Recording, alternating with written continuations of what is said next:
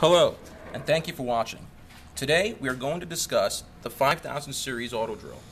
The 5000 is the largest of three different series drills that auto drill carries. The 5000 series model has a maximum capability of 1300 pounds of thrust and can handle up to 5 horsepower as well as 4000 RPM.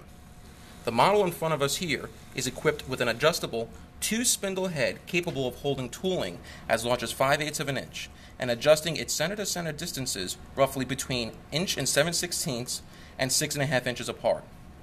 Typically, a machine like this is used to increase your production time by drilling multiple holes at once. Multi spindle heads can be made to accommodate a variety of patterns and accomplish drilling two, three, and in some cases, up to 36 holes at once. This machine has been configured to drill two holes at a quarter inch diameter and an aluminum bar, roughly two inches apart. We're going to provide a quick demonstration for you now.